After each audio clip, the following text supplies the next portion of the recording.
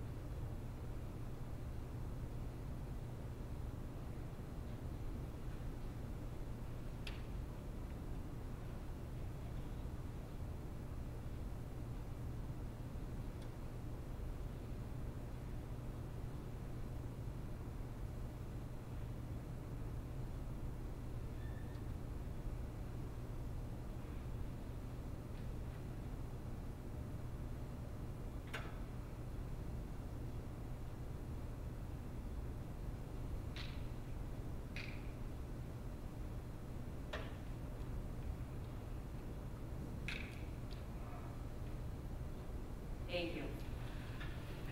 Um, so this panel tonight, or this topic, um, the title After Parkland, the student discussion of guns control. Uh, this is not meant to be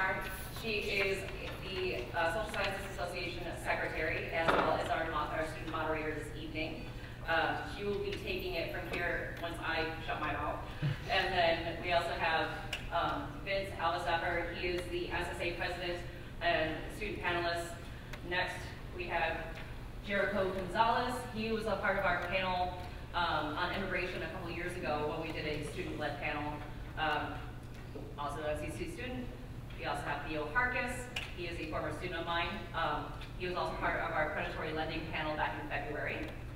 And then we have, do you go by Elijah or Eli? Whatever, Eli. Okay, so we'll call you Chad. Um, Hey, you gave me the option. Um, we have Eli here. He is a high school senior at Reeths-Puffer. Um, he is also the co-founder for the Youth Activism Coalition and has been a part of very active in um, speaking about this issue of gun control. He has been in the news. I saw him in the Holland Sentinel this morning in the paper. Um, and he organized the uh, walkout back in la- last month, was it? Last month? Yeah, yeah, so also, can I mention something? This Saturday, um, we are having a West Michigan Speaks Gun Violence, um, march, and it's, yes, it's to pressure Huizenga to just listen to our concerns as citizens because, you know, we deserve that. Okay. Yeah. All right. And then we also have uh, Jeremy Ward. Yeah, close enough. Close enough. So Jeremy Chat. Um, he is also part of the uh, SSA, and he is the editor for our um, campus newspaper here.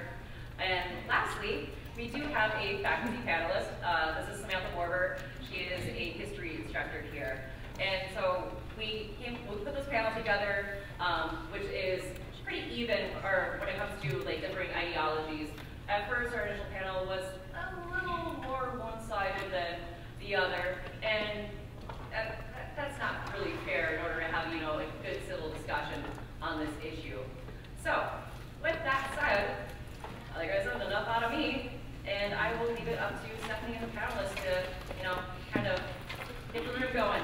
So, thank you.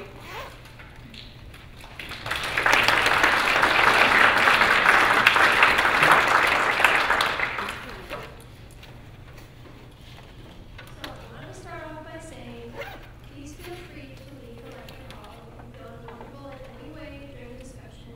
We know this is a difficult topic to talk about and recognize that some may be sensitive to some of the content. Uh, Also, feel free to come back too. Um, um, Questions will be open to the audience as well as the panelists. I or Michelle will be walking around with a microphone after the panelists have finished, finished discussing their viewpoints or any relevant comments or questions. So my first question to the panelists, and anyone can start answering. Uh, NRA says Switzerland has less mass shootings, one of the lowest rates in the world, because all their citizens own guns and are trained militia. Do you think the U.S. would be better off if every citizen were armed and trained? Why or not? I'll take, Okay. uh, stand over there. Oh, you can just grab the microphone. You don't have to stand.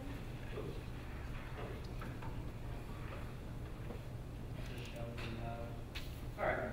Uh, One of the main things I focused on was Switzerland compared to Honduras. And Switzerland have about the same population, 8.2 million people. In Switzerland, you are, as an adult, required to own a firearm. In Honduras, they are banned by ownership from the public. Switzerland has the lowest murder rate in the world. Honduras has the highest murder rate in the world. I think it just speaks for itself that more guns in the hands of well trained citizens equals for left less crime, and a safer community.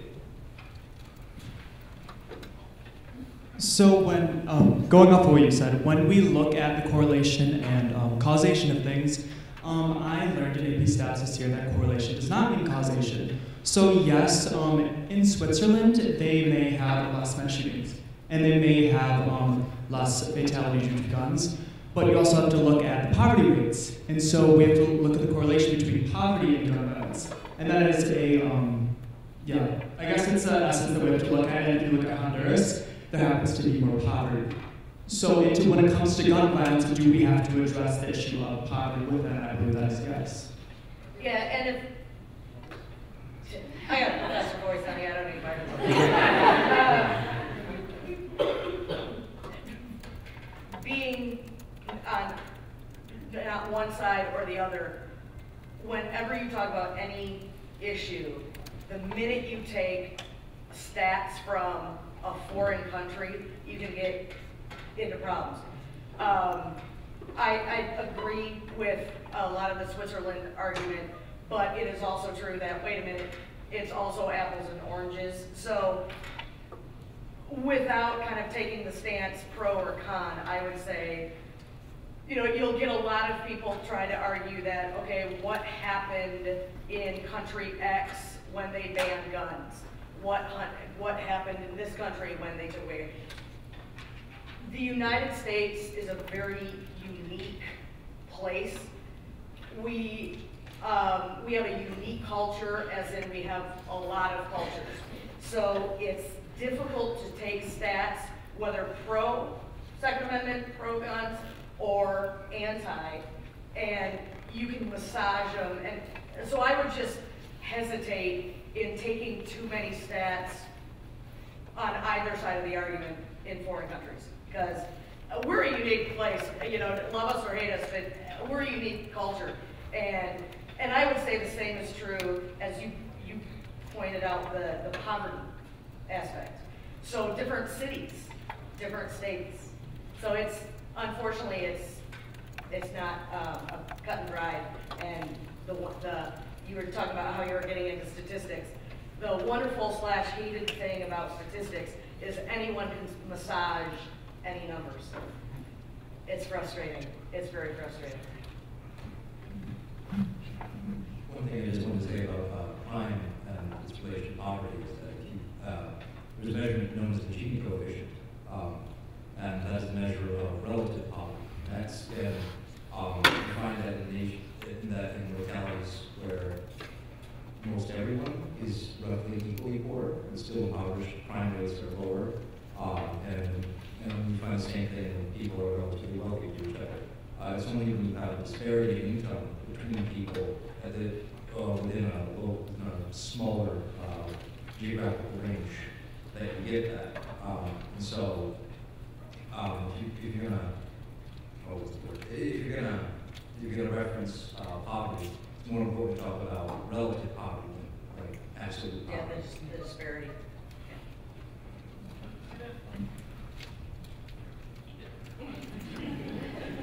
I know we just mentioned, you know, not comparing countries, but if we're going to talk about training equaling firearm safety, I'd like to point out that, you know, most gun deaths are suicides, and people who know how to gun, how to use a gun, still end up killing themselves. If you look at Israel, everyone in Israel is still required to go through military training and all weapons. Yet Israel had quite an enormous uh, suicide rate. However, when they ruled that, you know, soldiers could no longer bring weapons home with them on the weekends, the suicide rate fell by 40%. So my argument isn't for against that, but if we look at Switzerland and say, well, they're trained and everything works out because of that, that's not the issue. It's not that people aren't trained and hurting themselves. It's that, you know, we have an important mental health issue. Okay, And- so are you saying, I don't really get the argument. So are you saying that if people were better trained with weapons, they wouldn't I'm commit? arguing against that. Okay, I'm saying that- so if people were more trained with weapons, they wouldn't commit suicide? I'm saying the training doesn't matter in relation to suicide, which is the main cause of gun deaths. Yes, two-thirds of gun deaths are suicides. That you don't need to be trained to own a weapon, so I argue that, uh, better, weapons training isn't really going to lessen gun violence. Do you think the suicide rate would really drop all that much if we took guns away? I- Are you I- saying- But if you have an easy way, that's a, a surefire way to kill yourself, and you don't have. no pun intended. Again, I don't want to take away guns from anyone, but I would argue that lessening of guns would reduce suicide. Okay? I don't know by how much, but I believe it would lead lead to less suicides. Guns are shown to be the most effective method of suicide. Most other methods have much higher fail rates. People at that point can go to counseling or go to a facility to get the help they need. Uh, attempted suicide still has a life involved, whereas a successful one, we've lost human being. So I can see the pros of taking guns away even from trained, even trained individuals. Really want to argue for people losing guns, that's a hot button issue. But the fact is, with less guns, there would be less successful suicides. Um, he said, he said that, um, that suicide, that, that I, he said that suicide is two-thirds of all gun violence. Gun death, two-thirds of gun Okay. death Okay, in the um, United States. gun death's not gun violence. Not- not- Correct. violent. Okay, because, you know, is, um. Two-thirds of people that die from guns are suicide. Okay, because I I was just concerned with the inflation of suicide violence. Right. Because, uh, uh, personally, see self-harm violence. So It's it's terribly, it's terribly, it's terribly unfortunate, and I, I don't, I don't believe anyone who's thinking it of committing suicide should, be- should go through with it, maybe should help. But I don't necessarily feel that, that that is violence. Yeah, there's a lot of controversy about when you analyze numbers that is by including suicides in rates, um, people killed by guns. The numbers are very inflated with suicide. Yeah, it's, Yeah. yeah. It's, still reality, though, that we have to take into account, that, um, people are dying by gun, no, no matter be suicide or on the streets, or in our schools. I know we already talked about comparing to other nations, but I'd like to compare us to the UK. We actually um, are just about as racially diverse as the UK, same with economically diverse. And fact of the matter is, after the UK banned guns, robberies rose 40%. In the greater London area, there were about 70,000 home invasions in one year. 63% of those happened while the occupants were home, compared to the United States, only 13% of home invasions happen while the occupants are home. Reason being are, criminals are afraid of a uh, homeowner with a firearm. Uh, violent crime has actually doubled, violent crime in the UK is actually double that per capita rate of the United States. Confidence in the police in the UK is half that of the United States.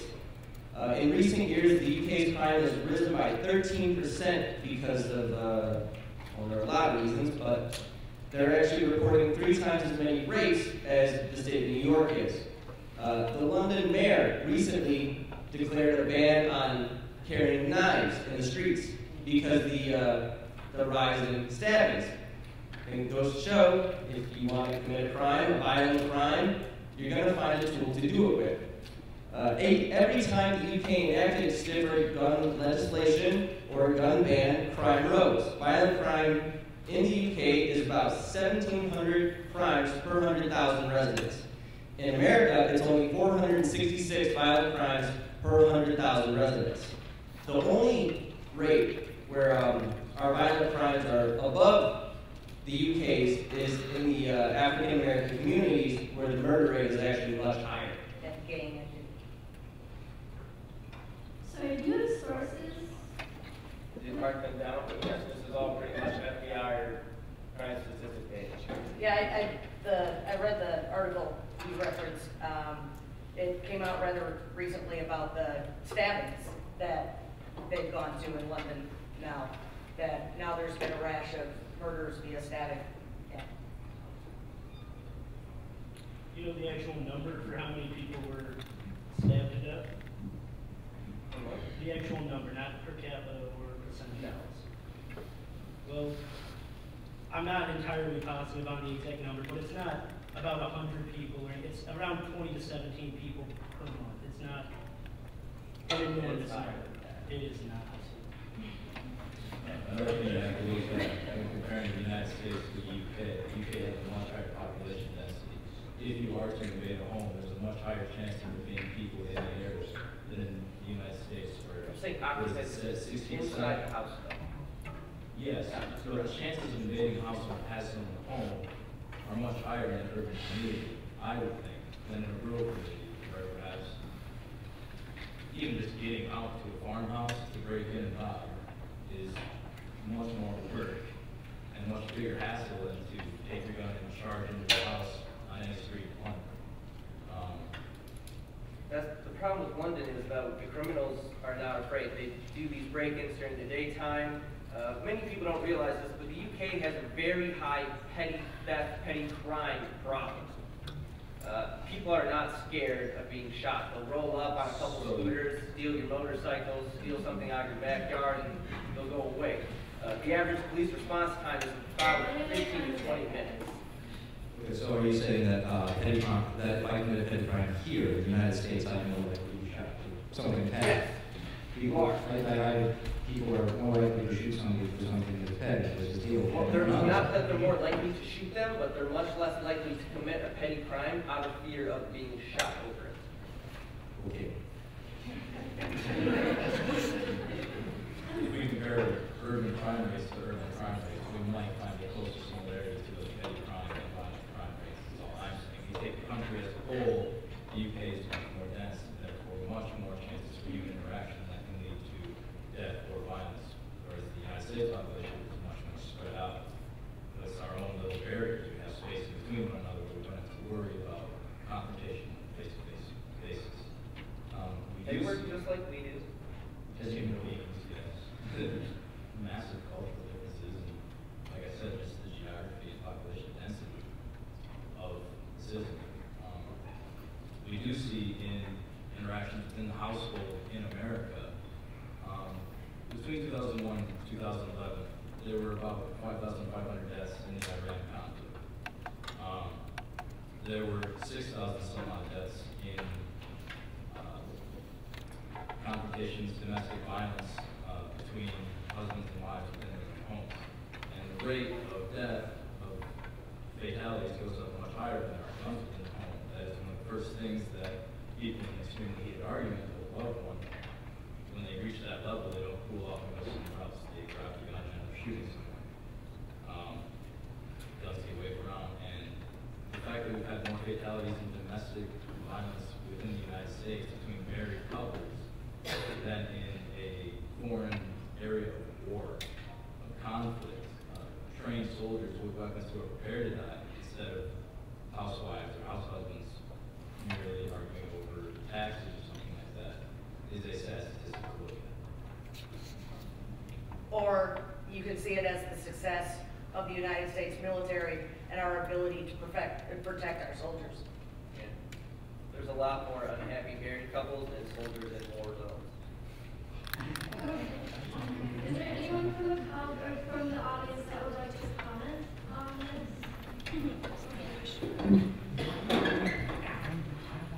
again. I on? Yeah.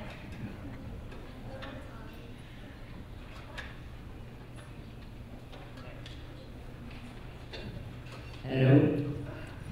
Saw myself, my own voice. I saw somebody over here. We only have time for one or two. Well, not, not, Okay, so we're talking about statistics and um, all this stuff in other countries and here and um, a lot of that stuff, you know, you can say correlation doesn't equal causation and, you know, all that. garbage. What, what I think the real issue is, is um, we got people committing crimes and people that are abiding by the law. We've already got laws against killing people. Obviously, that's illegal. Um, the, the method of choice to do that, uh, I don't think should be the issue, especially when we are founded on a country that ensures that law-abiding citizens can only gun protect themselves. Um, I think making more gun legislation uh, is not going to do anything. Criminals are going to break the law. Um, we need to find some way to you know, stop these things, um, but we need to do it ideologically, um, not by statistics. So if you guys could talk more about the ideology behind, you know, why America has a Second Amendment, um, I think that would be a lot more helpful. I just wanted to um, make, make a point about that. In order to have some sort of ideals that, or yeah, to have some sort of ideals, I guess, you need to have statistics to back up something you are going to make a claim for. And I think that's a very necessary piece to the puzzle that we have to keep into account. That we need facts and we need statistics in this argument. I have a, a counter question. What would you recommend doing for an ideological change? I'm sincerely curious. I think not restricting gun, uh, gun ownership would be a great place to start. Um, if you've got 500 law-abiding citizens in a complex like this that are allowed to carry, one unlawful citizen with a gun is not going to want to go to that place. You're saying what not to do. What can you do? Uh, not restrict gun or gun ownership. Uh, So I don't not know take away what, people's I don't know what questions our Stephanie is prepared to ask. So I don't know when we're gonna cover what topics, but, um, you know, I know this was inspired by Parkland shooting. And I don't, I know school shootings, especially with high schoolers, uh, and young college students, it's a sensitive topic, it's an emotional topic, and I wanna be sensitive to that. But in kind of regards to that question and the- what you brought up, um, schools are already gun-free zones. It is illegal to bring a weapon into a school. So, explain to me how creating more restrictions on gun rights of law-abiding citizens that use their weapons lawfully, how creating more gun restrictions could prevent or save kids in already a gun-free zone. Well, we should do away with gun-free zones.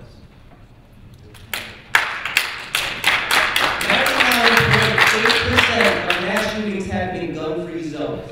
Virginia Tech, the YouTube headquarters, Northern Illinois University, Marie, Marie Stoneman Douglas High School, Sandy Hook, the University of Texas, Columbine High School, the Aurora Movie Theater, and the shooting that happened just after Parkland in Maryland, those were all gun-free zones. When a gunman is stopped by the police, there's an average of 14 deaths. Sorry, go ahead. Do you think those shootings would have happened if those weren't Yes. I would never go into a place with a gun if I know there's someone with a gun to stop me. All right, we have, a- hold on, before that, uh, do you still want something? Okay, there we go. I need some people waiting, so. Uh, This is in concern to a comment you made earlier about uh, suicide by gun, and my question is uh, perhaps spending more money on mental health Yeah, than releasing. That is our nation's biggest problem. Yeah, I understand. And no one wants to address that. I've I've had experience seeing the decline in money spent, I'm curious why you guys are interested in The statistics or decline whatnot. in money spent on mental health and, how do I phrase this? The, we have become very sensitive to mental health. We don't want to demonize it. We don't want to, um, we don't want to, um, we want to be sensitive to people with mental health- issues, which I think is, most people would agree is a good thing. But what that has resulted in is oversensitivity. And so when, for example, the recent, um, the- whether it was Adam Lanza or several of the, the mass shootings that we just talked about, um, it is very unfortunate that about sixty percent of mass shootings of the past one hundred years have been caused by people with diagnosed mental issues. Um, that, of course, is a sensitive topic because then, you know, if you get into the mud of the, of the, um, you know, the causation again, well, are you saying that all mental ill people, you know, are dangerous? Of course not. But we do need more studies done. We do need definitely more, um, effort put into, all right, what can we do to identify people who are potentially dangerous? Um, the, the, uh, not Parkland, but the one before it. Um, uh, no, yeah, I know, I know, I know, Um, but, um, I have it in my notes here, but, um, you know, he was identified. People, it was the Parkland shooter. Yeah, I mean, he was on the FBI. incentives Not to have him arrested for crimes committed on campus. They Yeah. receive eleven million dollars a year for having less students arrested, minority students arrested for crimes on campus. If he would have been arrested, if the sheriff would have done their job, he would have been Baker Act. The Baker Act prohibits people from purchasing a firearm. He would not have been able to purchase the firearm he used if he would have been Baker Acted like he should have been. Well, I mean, Yeah. um, we let our, we let our, uh, we let our sensitivities usurp our responsibilities. That, you know, yes, we should care about people, but we should care about, we should care about people enough to make sure they get proper, they get proper help. Um, and, uh, in regards to, the kid who's responsible for the Parkland shooting, um, it was a, it was, it was a very so circumstance under which people saw things, they said things, and yet nothing was done. That there was, there were many opportunities along, uh, there were many opportunities along that particular timeline at which intervention could have occurred, and nothing was done. Um, that, that's definitely some question we should be asking is, I if we think- have a system in place, why aren't we using it? Yeah, I, I think most, I mean, as an NRA member, I can speak for myself at least, I think a lot of people would support restricting gun rights. Um, if a judge, if the case is brought before a judge and mental illness issues have been reported, such as in the case of Nikolas Cruz. If Nikolas Cruz, if, if we had, if the authorities had followed up with him, uh, even at what, his own stepfather had Thirty-six said, times he was visited yeah. I mean, it, that man was going to blow, and anyone around him knew it. Um, so, let's talk about, let's have government-sponsored and, and private sponsors and university-sponsored research into how can we help identify those kind of people, like the Adam Lanzas, like the Nikolas Cruzes, um, and let's, yes, let's get the guns out of their hands, but widespread gun legislation against law-abiding gun owners protected by the Second Amendment, that would not have prevented these types of shootings. It's like voter ID laws. Many people are against voter ID laws because they believe it specifically targets minority communities and it will keep them, prohibit them from voting. It's just like gun legislation. If we try and keep more guns out of law-abiding citizens' hands, we're gonna arise with more issues. No one's trying to take law-abiding citizens' guns away. But they are. I, yeah. So your, your discussion, all your discussion actually leads into another question I was going to ask. Do you think mental health in the increasing of, is, is a factor in the increasing of? I think All of you. there's no question on that. Let me, And I- happen. there's somebody that's been so patient with waiting, and I want her to be able to speak. So, there we go. I think not only with looking at mental health, we also need to look at how cheap we have made human life. We kill babies because they're um, unwanted. We teach children that they are just coming from uh, something out there. I think we need to bring back the fact that human life is sacred and it's important to protect human life. And if we are teaching our children that, there's going to be less gun violence. I also have been a single mother for 18 years. My husband passed away. I had a gun in my home and had to bring it out twice to protect my family from someone trying to, one time come into my house, another time steal parts off my vehicle. I lived in Wolf Lake area, which is not a bad section of Muskegon. I think we need to realize that law-abiding citizens, the more we restrict guns from law-abiding citizens, the more problems we are going to have. I, I fully support you having a firearm with you. Like in those moments, you deserve that because you need to protect you and your family. You deserve that right. I don't necessarily think that um, the legislation that I'm for and the legislation that I've seen some of the people um, that are on my side, I guess we call it. Um, Such as, give us, talk about it. What, what strict- legislation? stricter So back. like Deerfield, Illinois, recently, I'm from Illinois, Deerfield, Illinois, recently passed legislation saying city residents may not own an AR-15. Okay. Yeah, so, uh, yeah, What, what let him, let him are the?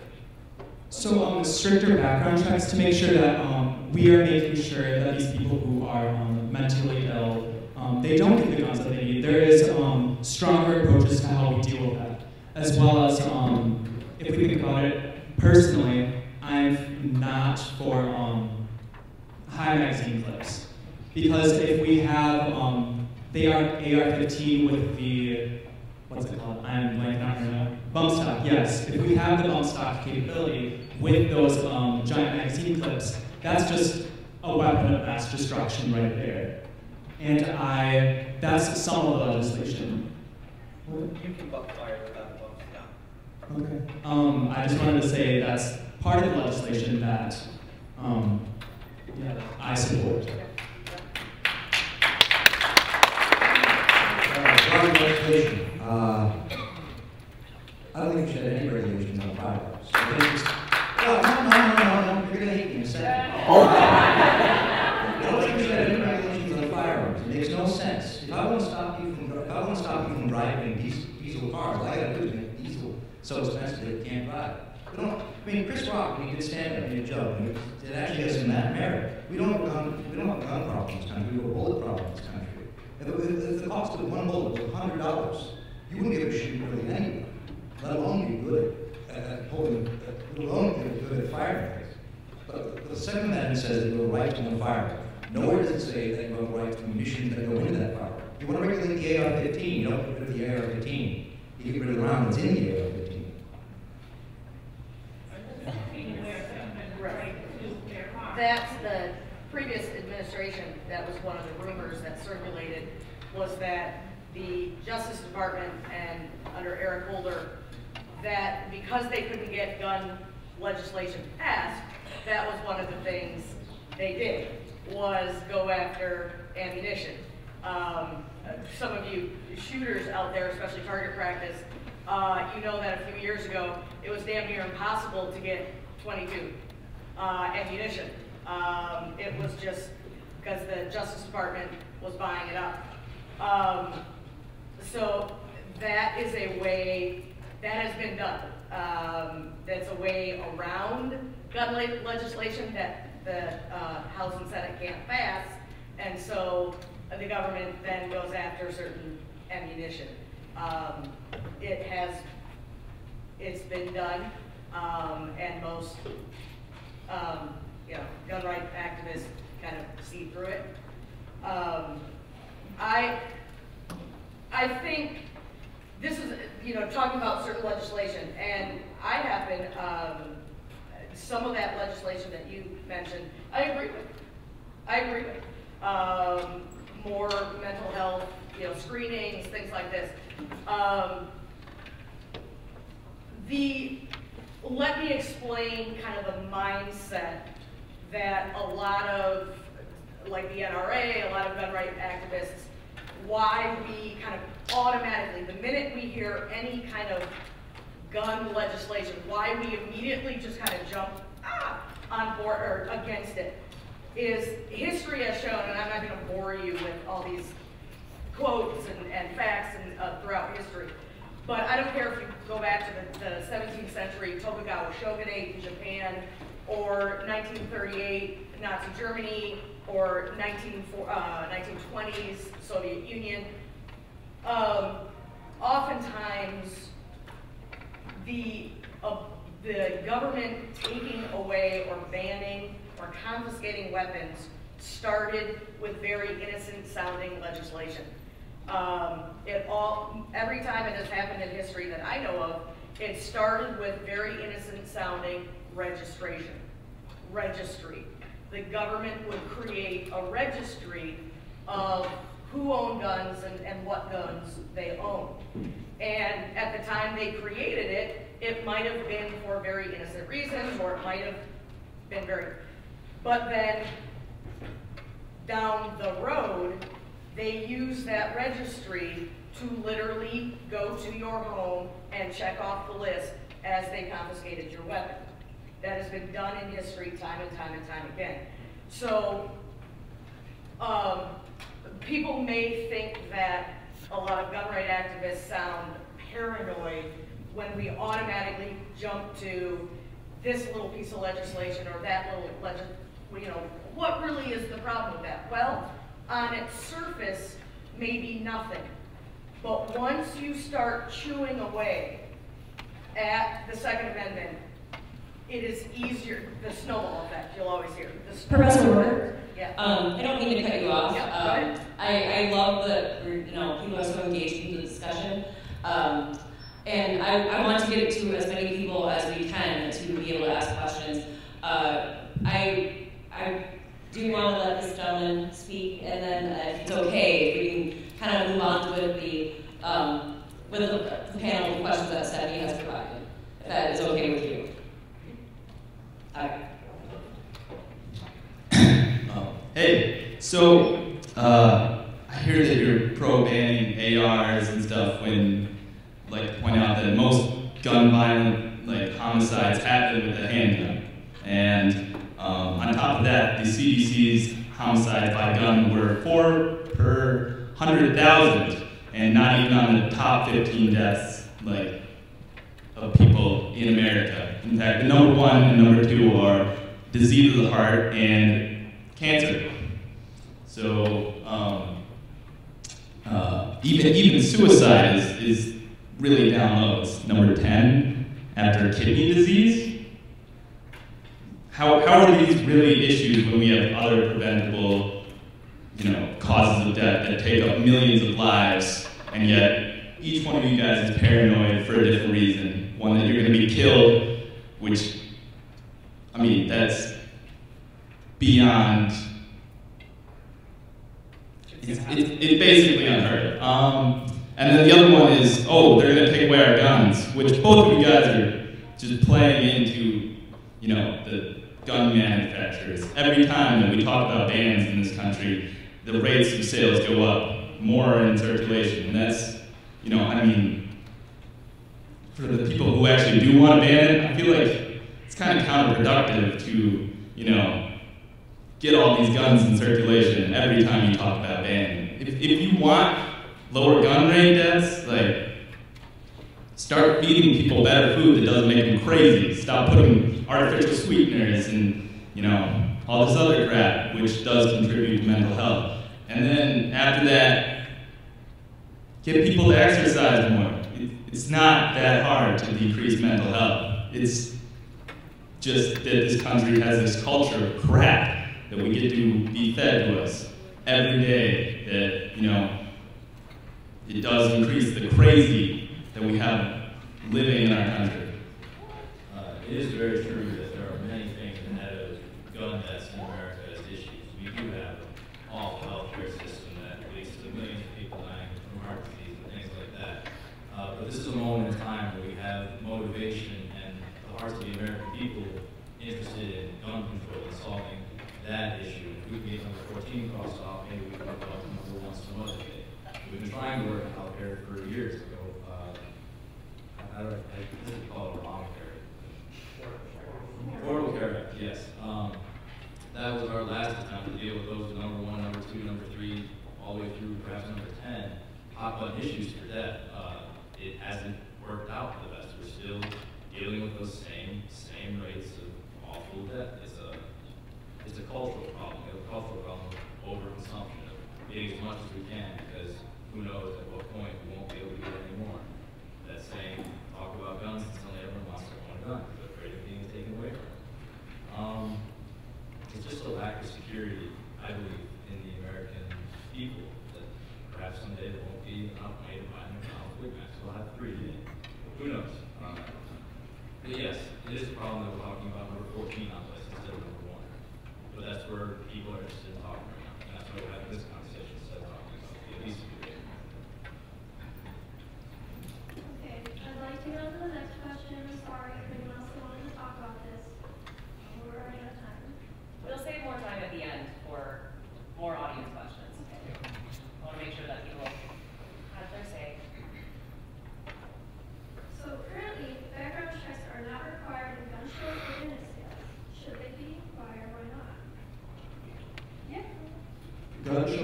are required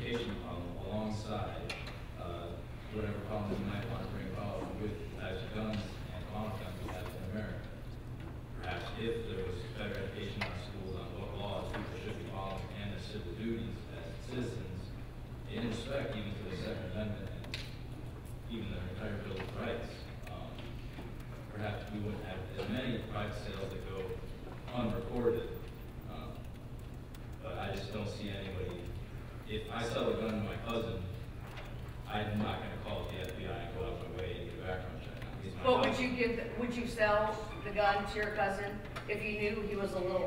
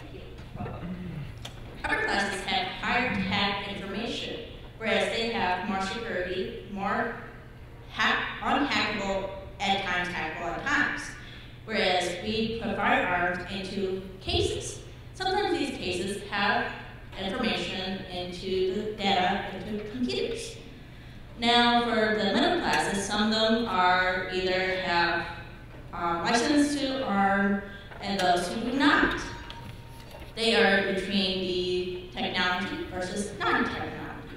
As for poverty, and sometimes we do have black market. Now, with black market, there are either drugs, firearms, and other stuff. Now, I have not heard a single word of the black market between all y'all.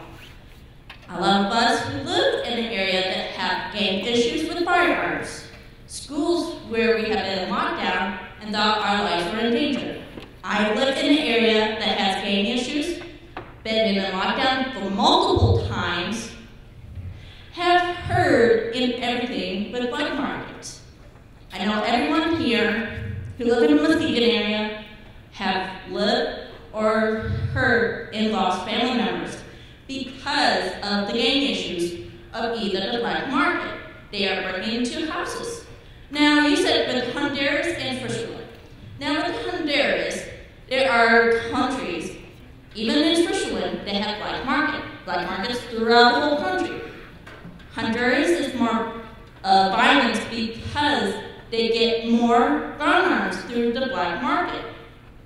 A lot of people say black market is not good. It is true. It's not good. It is violence, and many people die. I know everyone agrees.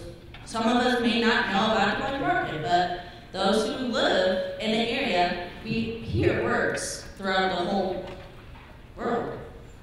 And see, that's the issue. Uh, any city or state that does have harsher gun laws, the black market for guns proliferates. Sorry. But uh, as I said before, I'm from Chicago. I grew up in a suburb of Chicago. Gun violence, it really just kind of got put to the back of my mind because every time the news come on, I just ask how many people got shot and what else happened. That's the issue. You enact harsher gun laws, people will just turn to the black market to get what they want. In prisons, weapons, drugs, all those things are not allowed. But guess what you could get in a prison if you went to prison tomorrow? You can get weapons, you can get drugs. So, enacting proper legislation, uh, we were talking about peer-to-peer sales. So we enact legislation that did require you, before you were allowed to sell a firearm, to conduct a background check and then go to your local sheriff or the police or the state police. That would be something gun owners, I bet, could probably agree we're not too worried about.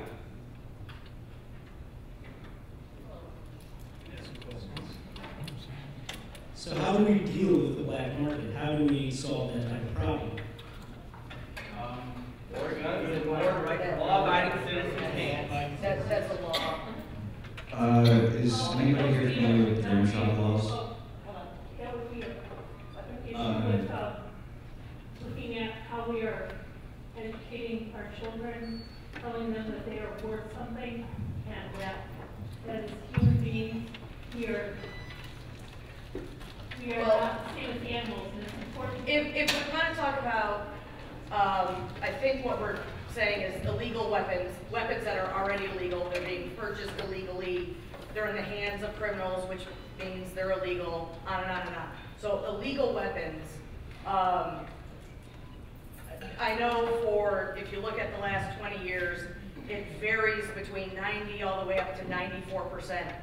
But let's say 90, 92, 93 percent of crimes, violent crimes, are already committed by a weapon that is already somehow illegal, or committed by a person that is already illegal in some way. Okay, meaning the gun is in the hands of a felon, um, the gun has been modified in some illegal way, whatever. So very low ninety percent of violent crimes are committed by people with weapons that are already in some way illegal. Um, so that is one of the, the powerful arguments that people use that, okay, the, the lack of, and he mentioned Chicago. Chicago, the city of Chicago has some of the most stringent gun laws in the United States. It's, I think, what, the second, the city with the second highest murder rate, first, is it first? Yep. No, I thought it was second. But anyway, um, and again, it's not direct correlation. It's not, if you have high, you know, gun laws, you're gonna, but, um, it, so when the vast, vast, vast, over ninety percent of violent crimes committed are committed by guns that are already illegal in some way, that's, a, I think, a pretty powerful argument against creating more law legis, or gun legislation. What was your question, I'm? Uh, if anybody is familiar with dram shop laws and legislation, um, a, uh, this is an example, it's, it leads to my point, but, um, if you were to go to a bar and you buy alcohol there and you end up getting into a car crash that results in loss of life just driving your car, the liability falls back onto the, uh, I don't say institution, but that's not what. The bar. The bar Yeah. that sold you the alcohol. So to combat the black market, to force you to go through some food you could, enact some legislation that would reprimand people who don't follow through with that civil duty of doing a background check after that sale. Well, Any federally licensed firearm dealer has to. Yeah, I'm just saying, like, we can- every gun has a serial number on that can be traced back to the original purchaser, that can be traced back to who originally owned it. If that person did go through. Well, many of those guns are stolen. If that, that's. That or they're they're sold illegally. reported when that's stolen. Well, If a okay. gun is stolen, I don't know if it's a pump, but it would help with people reporting these. So if it's reported, then you have that on the registry. Any, any, uh, any legislation that would do what, that, that could effectively, uh, that could effectively impose the controls that you're looking for would have to require some form of registry in order to be able to check who's responsible, who, who had the last responsibility of ownership. Um, now, now that, that's a discussion to be had as to whether or not, uh, it's a, I mean, um, no, no, uh, it's, uh, now Samantha, um, Samantha reported, uh, some very historical reasons as to why registries aren't a good idea.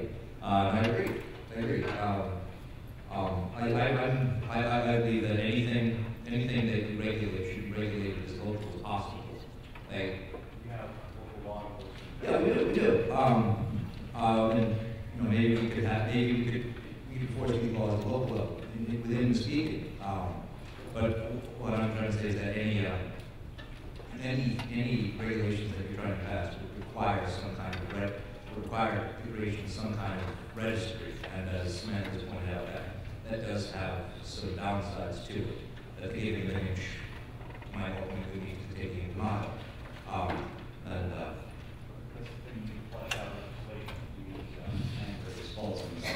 Yeah, no, that, yeah, no, that's, that's definitely pros and cons. Um, is, is it worth having a registry, a registry in order to be able to prevent things from getting a black market? I think it's worth looking into establishing legislation or at least establishing conversation regarding it, because you need to, the Constitution was written in the premise that it was going to be applied in the future to situations that weren't related to it, and it was made with a lot of foresight. What we need to do is do something with the amount of foresight in regards to the situation we're in currently. Yeah, uh, I agree that you can't do nothing. But yeah, we gotta start somewhere. I'd say start local. Yeah, yeah, yeah. And really, we need to be able to the local. Real proof of concept, okay, real quick quick proof proof of concept. Raise your hand if you know the name of the mayor of Muskegon. Exactly, no, no, we we need to pay more attention to the local, to the local, to local politics. Um, They do in that. Go ahead, Stephanie. Okay, so Marjory Stoneman Douglas High School requires that their students wear clear backpacks. Do you think this will help prevent gun violence in schools in any way? Why or why not? Um, the likelihood of two school shootings happening at the same school is very, very, very, very, very unlikely. So I think that clear backpacks um, are not a good idea because it's not going to prevent gun violence from happening. See- Seeing that on school shootings, how yes, it's an issue, but it doesn't happen as much as um, shootings on the streets or shootings um, within local communities. So it, that doesn't really help the conversation about saving lives. I'd like to point out that the students of the high school are now upset that their rights are being infringed upon. Uh, school shootings are actually on a decline. Gun violence and our crime peak actually peaked in 1993. Since then, everything is on a decline. What's on the incline is the, the national reporting of it. Our media is controlled by three companies. They no longer have to sell you the truth, they have to sell you a story you're going to watch.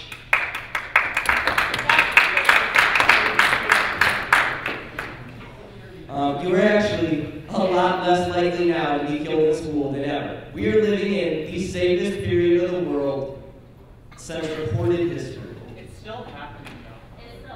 It's, I can walk into my school the day after shooting or the day of the shooting and be terrified just because it happens in at Central Michigan University or just because it happen, happens at Virginia Tech. Even though it's unlikely to happen at my school, I think, I'm not trying to be mean, but I think that has to go with how the generation is being raised. We're being raised to be very afraid of things, and we shouldn't be. No, I, I don't think that's exactly Nothing nice. something we could discuss is, you know, school shootings and mass shootings is a uniquely American problem. We have more school shootings than anyone else. Why is that? Do we have any ways to solve it? I just have a question. I don't, um, I don't know anything about guns, but why do we need, like, what is the reason for a person having an assault rifle? What is it? I I don't know, I'm genuinely asking. I need to know, like, uh, can, let me just finish. So I just want to say that the amount of people dying with these guns is the problem. It's, it's how many kids are being shot at once. And I just want to know, you know, what, what do you need that for? Do you need that for hunting? What do you need that for? Why are, why are people buying that? That's what I'm, I'm wondering. Well, there are various different reasons to own different models of guns. Handguns are mostly for self-defense. Uh, an AR, AR-15, uh, AR doesn't, doesn't represent assault rifle. It means ArmaLite rifle model 15. It's just a 15 rifle put out by the company, uh, Armalite. Um, now, the, the reasons to own, like, okay, if you live in New York City, I, I can't think of any real good reasons as to why you should own an AR-15. If you live- If you live in the backwoods of Montana or in northern Alaska, and you have bears to contend with, then yeah, no, there are huge, decent to own an AR-15. Um, but beyond that, but um, certain certain certain localities don't warrant certain. We're- Wait, let me, let me explain this. We use the, the broad title of assault rifle, very widespread. Um, and oftentimes, it gets confused. A lot of people think, like if I asked you, what do you think an assault rifle is? A lot of people think it means full automatic, meaning if you pull the trigger, bullets just spew out, okay? Fully automatic right, uh, weapons were first restricted in the United States in 1934, I believe, during Prohibition, okay? They were officially banned for all citizen use in 1986, all right? So it has been illegal for any citizen, other than historical purposes, to own a fully automatic weapon. Do the math, I'm terrible at math, since 1986. And in a way, ever since the 1930s, okay? So what you now have, um, you have semi-automatic rifles. That's where you need to pull the trigger each time and a bullet comes out. You, but you don't have to work the bolt, okay? It's not like a hunting rifle. So, and semi-automatic weapons are perfectly legal. Um, now, so when you hear the term assault rifle, and you see the big scary black uh, assault rifles, you know, that they always show in the, in the like the AR-15, those are semi-automatic, okay? They can be made fully automatic, but it's completely illegal. It's completely illegal. You have to buy black market crap. I don't even know how to do it. Uh, and frankly, there is no need. There is no need for a fully automatic weapon. Um, but why do I want to own a semi-automatic weapon? Personally, I grew up at my cabin target practicing. My dad has an M16. It's a semi-automatic. We have a lot of fun putting holes in targets. I also use handguns. I also use hunting rifles. I'm a hell of a shot. It's fun. I have cultivated that since I was a little kid. I'm teaching my nephew. It is a family tradition. We also hunt, okay? Um, so semi-automatic weapons, why do we need them? Why do we? Because we because we enjoy hunting with them. We enjoy target practicing. We it's it's tradition. Okay, it's a different. It's another type of weapon to own. Okay. Um, so when you hear the term assault rifle, it certain connotations are made. Um, so I just wanted everyone to kind of be educated in full automatic weapons have been illegal for many decades. Um, and I think most people, except the, the most severe, most radical, would agree that any attempt to make a semi-automatic weapon fully automatic is illegal and it should remain illegal. I have a question real quick for the panelists. I'm noticing a common theme in the discussion for tonight. Um, I hear about being educated, educated on certain topics. So my question for you guys, sorry to kind of overtake Stephanie, but what what do you believe, each believe that we should be educated on with regards to the issue? What would be the top priority?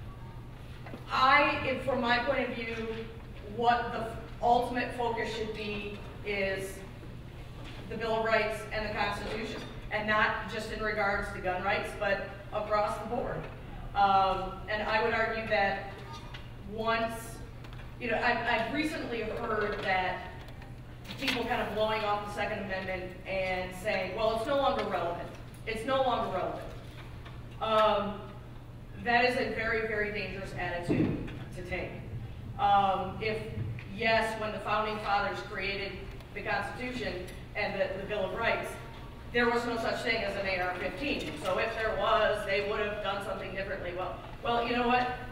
There was no such thing as the 24-hour news cycle or social media. Does that mean we should restrict the, the, the Constitution when it comes to freedom of the press?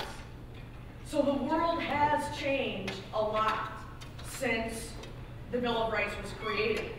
But I would just like to argue that if you start clawing away at any one of the amendments saying it's not relevant anymore, are any of them relevant then?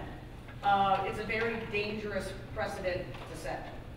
I, I completely agree, and I completely understand that, but the basis of this argument needs to rooted in the Constitution, but also um, I would like to add to that, um, to make sure that the people who have been affected violence, they do have sort of a say in some of the legislation that is passed or even talked about, because I have not been personally affected by gun violence, but I still stand by the people that have been affected by it. I live in downtown Muskegon, and I know people that have been personally affected by it, and I wish that they had been affected by it. I think everyone would agree that we we know gun violence is an issue. And we need to tackle it in a systematic, in a systemic way, because if we don't do that, then personally, I believe that it seems as if we don't care for those victims, and yeah, I'm trying to think about exactly how I Hold on, question midway back in a second. Well, we have, Okay, sorry. She's got her hand up. Yeah. Okay, so back to what Eli, Eli was saying about how if you were at school and you were, a school shooting happened that day or it happened yesterday, you're gonna go back to school and you're still gonna have that trauma. Mm-hmm. It has nothing to do with the generation you were raised in. For example, I was a senior in high school, homesick from school, a man broke into my home, came into my bedroom. That's traumatizing. Sometimes when I go home, this was two years ago, sometimes I go home, I turn on every single light because I'm scared for my life.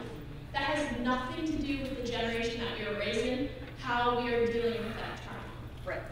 So I'm with you on that. That has nothing to do with the, the generation that we live in. It's almost pointing fingers now. You can't get over it, or you can't get over it. Right. Yeah, there's been a lot of, um, do with generation that we're raised in. in the media, there, on both sides, there's been a lot of, um, I feel feel bad because the, the high school students, like at Parkland, I think they've been highly manipulated on both sides, uh, by both sides of this issue. On one end, kind of the political end of it, I think they've been manipulated, and then kind of their reaction, now they're being made fun of, and it, it's, it's really unfortunate. And I have, if, if I had been, you know, 17-year-old at Parkland High School, yes, that would have been, or any school shooting or anything like that, uh, traumatic. Uh, there's, and I don't think, I, so I don't think we should mock them or judge them or in, in any way. Um, I think it's a sensitive topic um, and I don't like when the arguments start to kind of pick on. And that was the that was not the intent of this discussion to begin with. Because when we start to kind of point fingers at people, we become more divisive, and that is the opposite of what our goal, ultimate goal should be. We should come together to, you know, for a common goal solution. Um, I mean, that is why when we say, like, when people say, yeah, oh, this generation is too sensitive. Well, they're the ones that are like largely affected by that. I mean, the Parkland shooting are of the victims of that shooting were, you know, members of that sensitive generation. Um, and their opinions matter just as much as everyone else's. Thanks. Um,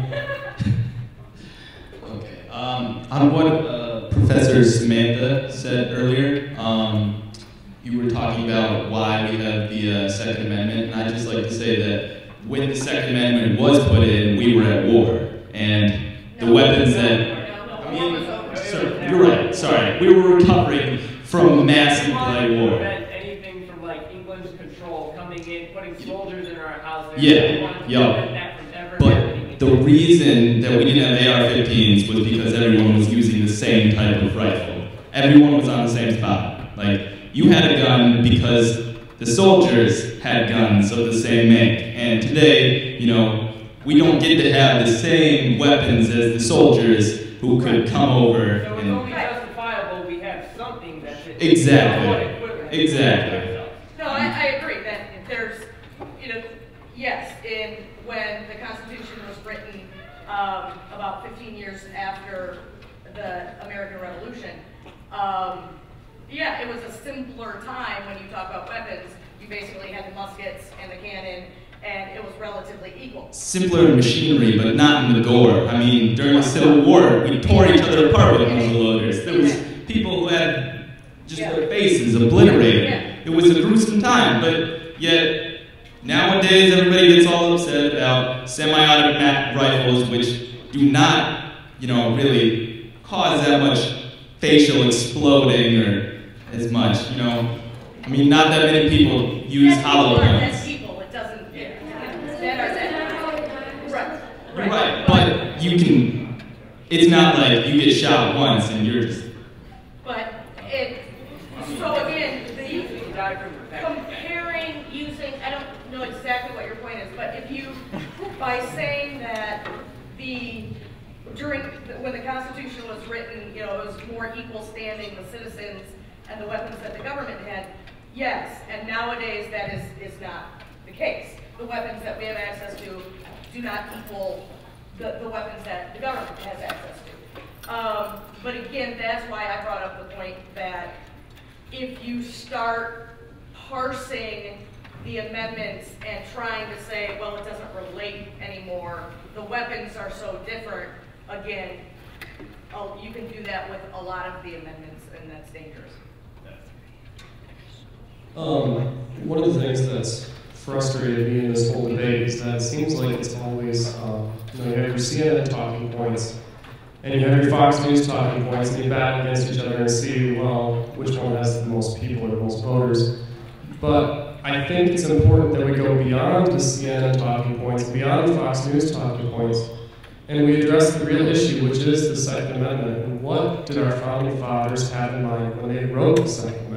Because they were brilliant people. I mean, they were smarter than all of us in this room put together. Why did they put that Second Amendment in the Constitution?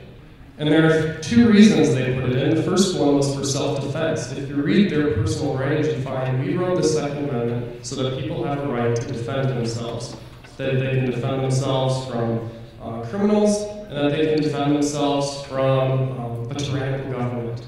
All right, and you say, oh, a tyrannical government will never happen in the United States. It has happened. Uh, we've taken Japanese Americans and thrown them into prison camps during World War II. Um, uh, we've uh, you see most of the gun control legislation historically has been in deep South states trying to deprive African Americans who had just been freed from owning guns. Um, so our government has tried to use tyrannical measures to keep people from owning guns in the past, and our founders didn't want that. The second reason isn't for just self-defense, it's for national defense also. Because we need, in order to keep our country safe, we need to have people who are familiar with how to use an AR-15, with how to use an M16. Um, the reason we won both world wars is because our general population was familiar with military-style weapons and how to use them. But I think the most important issue is we need to realize that our founding fathers were more brilliant than what we give them credit for.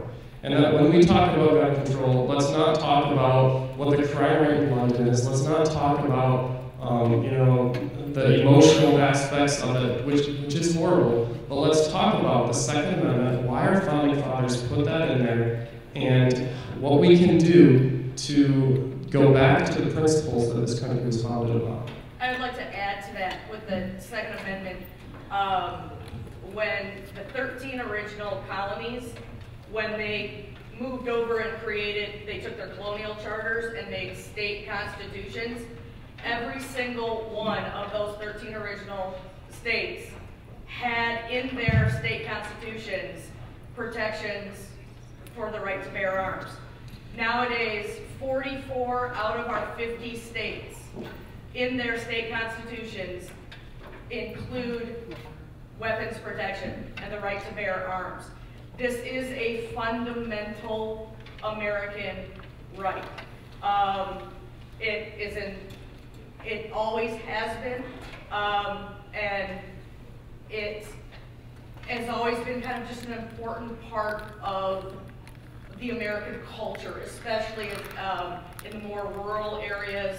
Um, it's part of the American culture, it's our history, and the reason you know, that we were able, as ragtag 13 colonies, to defeat the world's greatest empire, there were a lot of reasons, um, but one of them was because we had a populace that was that dedicated to the idea of controlling their own fate. And they lived in a rural, kind of dangerous environment, and they had weapons, and they fought with those weapons, whether they were colonial militias or the actual Continental Army. They fought with their own personal weapons. That is in our history. Um, it always has been. Those same Americans that fought with their weapons also believed that it was all right to enslave blacks in the South and build a country on the backs of their slaves. If you're going to point at the foundation of this Dan country, has a very strong opinion on this, so I'd rather not get her going. Yeah. And also, we have somebody that's been waiting very patiently. But why is gun ownership such a value? Like, shouldn't we be more worried about teaching our kids empathy and tolerance? Like, I don't think that teaching our kids about guns is really, I mean, something that we should even be talking about. You have, if, if you, as a parent, don't want your children to be, that is your, then don't, okay? Um, I agree with you that I think a lot of the focus on school shootings and things like that, we, you know, let's talk about the whole Be Nice movement. And, you know, a lot of the, the um, school shooters, they, they were bullied, tremendously bullied. Uh, let's talk about, you know, social media and that kind of bullying. Um, I agree with you that, um, that, that kind of, you know, manners can be a wonderful thing. But I do want to say, I'm not saying don't focus on the school shootings because we should, because one is way too many. So I don't even care, like, like what Theo said about oh, we are safer now than we've ever been. One school shooting is way too many. So to me, we need to solve that problem until there is no more. Oh, uh, if you, read the diaries of the kids who, pulled off Columbine, they, they tell you why they did it. It's way darker than you think. Um, Columbine kids really the Columbine kids intended on blowing up the entire school. They planted bombs. Luckily, they weren't intelligent enough to make bombs that worked. But no, um, the part, they, um, the kids at Columbine wanted to kill, wanted to kill people in their school because they were innocent. They had done nothing wrong with them. They, they intended on taking out their own lives afterwards to prove how pointless it all was. They, they were more so lashing out against the world because they judged it to be horribly evil instead of that. And, and that, that is a path which takes a long time to walk down. Uh, when, I think I think part of the problem is that uh, a lot of our youth have lo- uh, times we live in. A lot of the youth, a lot of our youth have begun to lose faith in humanity, uh, and that's definitely not a good. That's definitely not a good idea. We need to be focusing more on positive, a lot, a lot on the positive aspects of humanity, the positive aspects of our society. Not necessarily overlooking the bad, the, the things that we've done in the past that have been bad. Those define us as well. But if we highlight the fact that, look, we've been to some very bad places, but we're also headed to some beautiful places. So don't give up just yet. I think we, we solve that, that problem pretty quick. We have one people over here and then somebody over here as well. Oh, we have, we have a girl who does it. Oh, Been it for a while. Her purples. Ouch. Sorry. We are, well, I'm trying to everybody. Um, I just think it's important to, like, we're talking about different kinds of weapons, and we need to kind of get back to the point of the mental health thing, because there's different reasons why people shoot other people, whether it's um, game-related, we've got the kids that have been bullied, that are depressed and angry with other people, and then you have people that are delusional, who think all Muslims are coming to, you know, them, you know, there's, there's many different reasons why it's not good gun, I feel that is the issue, I mean, definitely, we need to do more checks for mental health. I think that's really what it comes down to. People are allowed to have um, the right to have a gun, whether it's for collecting or to feel like they're protecting themselves. Because if you're mentally stable, you're not going to just start shooting people with a gun. You're mentally stable, unstable, you know, you're either having the urges to, you might carry it out, and if you're unstable and you have that um, predisposition to actually want to, because there's people that are unstable that won't. They take it out on themselves, or they just sit in their sorrow, or whatever.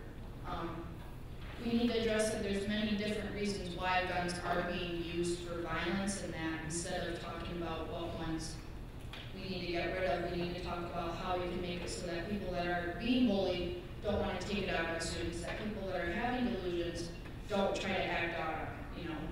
I think that that's really what it comes down to. We need to stop talking about what guns are killing people, and we need to talk about the kinds of people that are killing people. Whether it's a gun, it's a knife, acid attacks, people are gonna do this stuff regardless. It's the people that have the predisposition to kill that we need to address. I've been, you know, I'm a psychology student, I've been doing this over four years now, I've I'm doing criminal psychology because of this, because there are people that we need to learn more about and why they're doing it, whether it's because of their past, whether it's all genetics, it's, it's both, it's nature and nurture, ultimately. And I agree with you, the problem we have is we need to address the issue, why do people see shooting up a bunch of innocents as an answer to anything? Right, and that's. Why is that what answer? Yeah, we need to address why these people are wanting to do this. Do you get I know some states, I don't know all the, I, I don't know a lot of detail about this. Uh, I don't know if some of these guys do or not, but, um, there's something called red flag laws. Um, where some states have started to enact what they call red flag laws, where if there is, um, evidence that someone is starting to kind of cross that line, um, mentally, um, that then the authorities have more ability to step in and maybe restrict rights.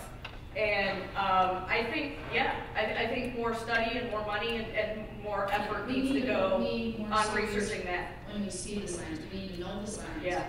We need to know that when it's time to address it, because someone with depression or, you know, ADHD, it, really is anyone, regardless, you could have someone that seems completely normal, that is completely delusional, you know, and, um, I think not only just teaching people to, you know, not bully, but there are those people that are just born that way.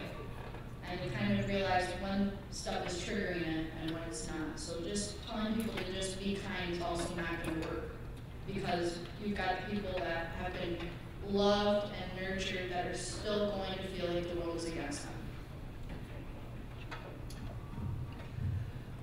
I want to get to people that haven't, that, I thought I saw somebody over here who had their hand raised. Did you still want to? Oh, okay. Just jump on here, I see. This road has been very patient with me. So, I'll start with you and pass it down. Um, I'd like to, uh, kind of, along, uh, what she was saying, um, we seem to be wanting to make the gun the evil part in this equation. Um, you know, I think, you know, all people being relatively good natured, we don't want to accept that bad things happen because bad things happen. Um, at the moment, uh, we look at, you know, kids being shot, well, that's easy to point the finger at the gun right away. If the kid didn't have the gun, then, then these shootings would happen. And I'd like to point out that at the moment, people seem to be switching to cars in Europe. Um, it seems that seeing more people being run down by vehicles. Uh, the protests in, I believe it was Charlottesville, um, there's a guy with a charger that killed somebody, not somebody with a gun. Um, the AR-15 is designed to look mean.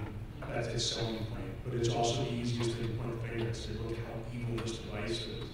Um, you know, we need to go back, we need to look at mental health issues, we need to look at, at reasons behind these things happening. Um, you know, this generation growing up right now is a generation growing up knowing nothing about war. I mean, we've been at war since 2003.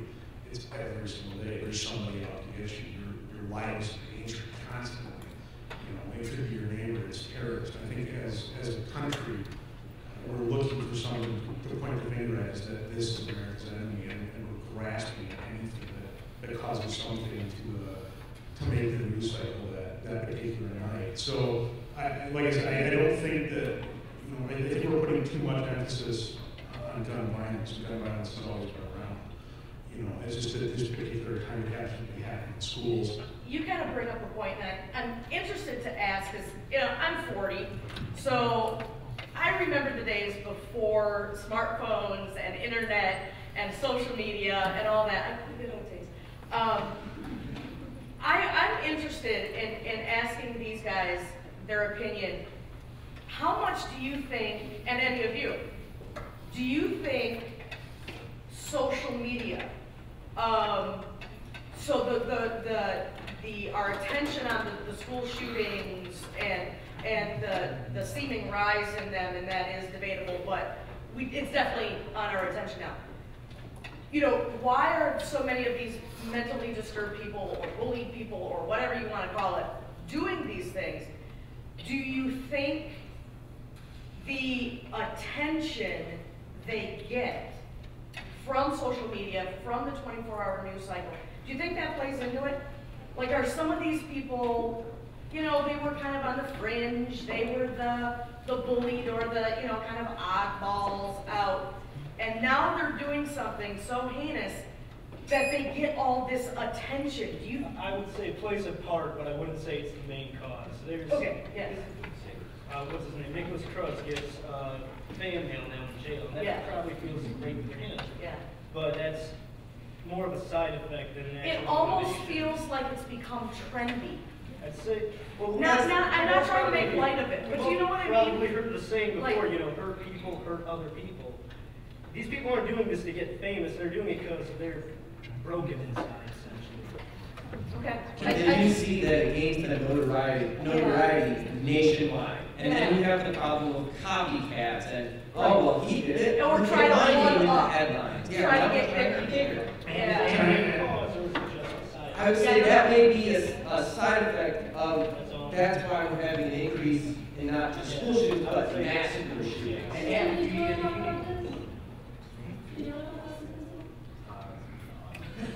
mean, I was just curious, like, is it, is it happening more often just because now it's the trend?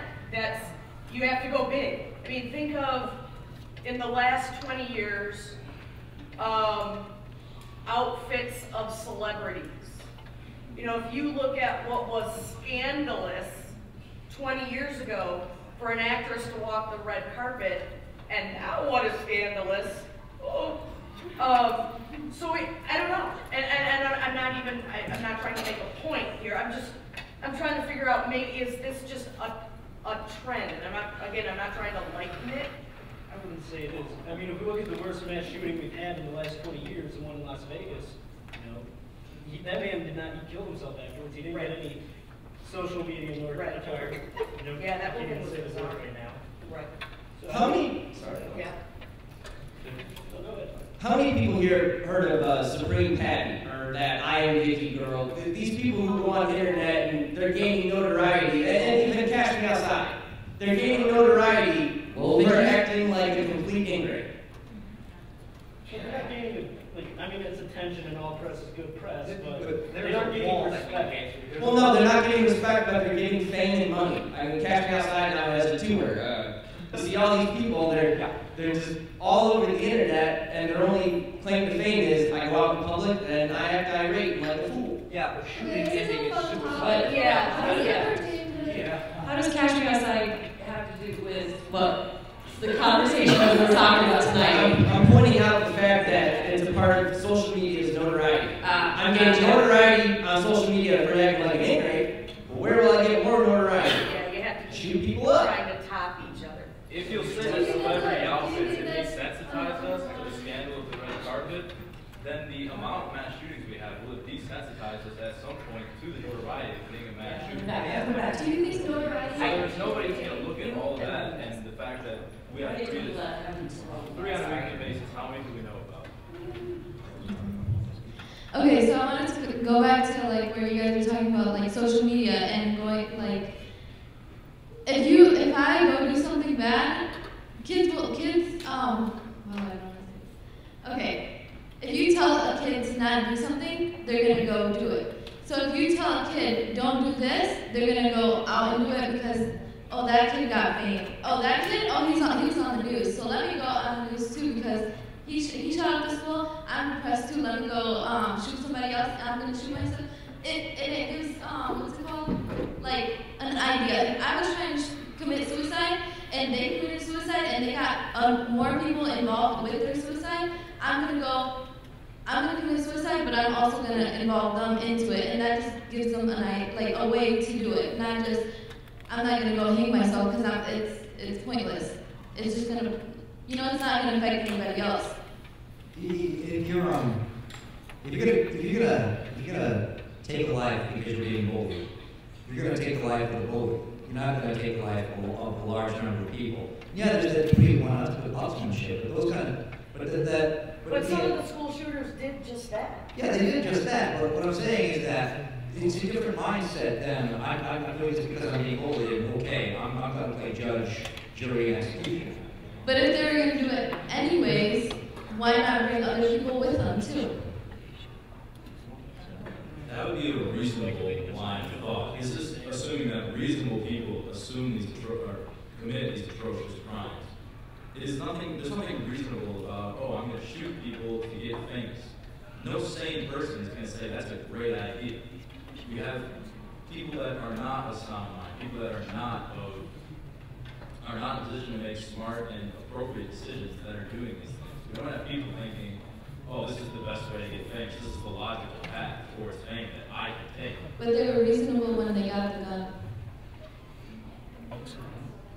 They We had to have have, mental background checks behind people getting. they had to have some sort of like correct thinking and saying, oh, I'm gonna grab that gun. Well, remember that the younger people doing the school shootings, it's illegal for them to have weapons. They're, Exactly. they're young. Seventy-five. You have to be I believe that 18 Between seventy and seventy-five percent of gun crimes are committed with legally obtained weaponry, not stuff brought in over the border. No. But there's people who do have, Gun crimes are committed when guns are legally obtained. Right.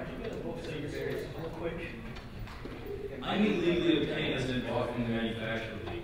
If I go to my cousin's house to pick up that gun, I'm not legally purchasing that, I'm just borrowing it for the day to go up everybody. It's not something that I'm obtaining in a legal way, but that was originally bought through legal means of purchase.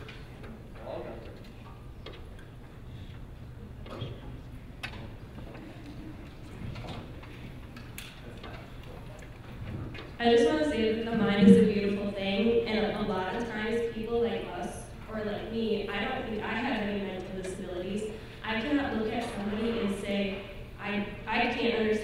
going on inside of your head. Whether we realize it or not, somebody who's going in does, is not right in the head. There's something going on, and why they do go out of their way to get gun, do whatever, we cannot understand. We don't understand what is going on in their head, and that is the biggest issue. And why they look at the social media and the news and what's going on.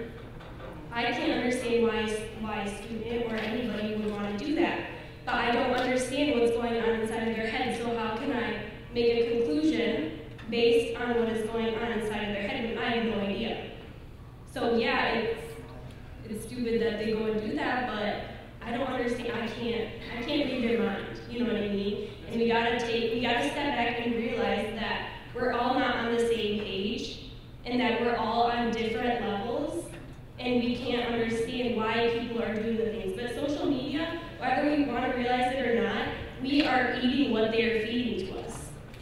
And people who are on the lower like levels and you know who educationally wise like are reading and looking into those things, they're susceptible to that. And they, you know, maybe if somebody is wanting attention, you know, and is going off of social media and they see that they're getting fame and whatever from it, and they don't care about their life and they aren't right in the head, maybe they want to do that because they want to make a point. And I don't know that point and I don't know what's going on in their head, but they're going to do it anyways. And that's what we have to, the root of it is because of social media and what the news has hyped up and everybody's getting riled up about because social media and everybody is making it so public and so known, that's the big issue. And then mental disabilities are just kind of pushed aside. And then the people that are watching it are feeding off of it. So, okay, so I agree with you. So that kind of goes back to my point as, so, all right, let's say social media may be a little factor, but no one in this room would ever support restricting social media or the media in any way. But I think I think we are restricting it to a point when we're only allowing certain things to go in, like how our news is only three people who are controlling it. That's restricting it. Social media works differently. Social media is. But it's Well, all- no, if you look at the recent Facebook issue, they've been caught purposely blocking and censoring right-wing or right-leaning uh, profiles, opinions. I know two people are Diamond and Silk. There are two African-American ladies who are proponents. They're big fans of Trump and everything. And Facebook banned the profile. The problem is, They've been demonetizing anything with guns or violence in the title of their videos. So people who make livings off of making YouTube videos, anything that has anything to do with violence, guns, weapons, anything that may be remotely considered negative. Well, there goes our advent. And see, I disagree with that because YouTube is how Oh, I'm I not learned saying to you're all my new guns. YouTube is how I learned how to figure out how to take them apart and clean them. But whether we realize it or not, it's still an issue because, like, even though we might not know it, they are like con- com- completely controlling our mind, and we're seeing only certain things that they want us to see. But it's not, well. And then the people who are like mentally not right, then they're feeding off of. But in theory, feeding. the government is not, and I know there's lots of conspiracy theories out there, but in theory, the- in total, the government is not controlling the media. So it's not a tyrannical government controlling the media, restricting your rights. So that's kind of the point I was getting to. Well, that's like with um, Nikolas Cruz's brother. I don't know if you heard about it. He got he was trespassing at the school, and his reason behind it was because he wanted to reflect on the school shooting and soak it all in. If he's not, that's just portraying the reaction he's trying to get, the reaction on social media. It's almost of like why or like what's the point, but the fact that the story of that went so big and it's Nikolas Cruz's sibling that everybody's like, oh my gosh, like there, there, there could be more or whatever. So that that just gave me part of like the whole social media thing is like trying to get attention, getting feeding off of it and feeding off of it. So Are you, I'm not sure if I understand this, but are we saying that we're passively, you know, taking in whatever the media says, or are we actively seeking out media to consume? Because it sounds like we're all saying like, oh man, the media's doing this, like we don't play a part of it, but again, to me, it sounds like kind of like a, like a boogeyman thing, we're talking about the guns, we're playing the gun, how we want the media, when realistically, the problem might be ourselves. Okay, so I just actually had a question for you guys. So do you guys think schools, well, do you guys think schools should still remain like gun-free zones, or do you think teachers should be allowed to carry guns? I think the state should allow them to be. I, I, I, think, I think the state should allow them to be gun-free zone, but I think ultimately that decision lies with the school board to make the decision, to make decisions whether or not they want their particular school to be to be gun-free. I think local power. I think you know local power is far more relevant than you know somebody from way way far away dictating what you can do locally. Let, Yeah, let the school districts decide whether or not they want to be gun-free zones. Yeah. I agree, it should be a, a local, uh, level, it should be based on what the local school wants to do, local school board, local cities. I don't think it should be federally dictated that all schools should be this or all. Um, I think it should be left to individual communities to decide. Human beings are emotional creatures. Anyone whose emotions are running high one way or the other can make bad decisions. Uh, if you're really mad at someone, you decide to pull a gun and shoot them. On a day-to-day basis, you probably wouldn't do that. But if your emotions run high, or you get really depressed about something, that decision's gonna be made. Yeah, I don't think there's a perfect solution for it. I think if we do allow, you know, uh, teachers, you know, who already have carry permits or whatever, um, are some bad things going to happen? Probably isolated incidents. You know, it's, nothing is, is perfect. Are there tragic stories of, you know, kids getting into the, the gun safes and, and tragically, yes.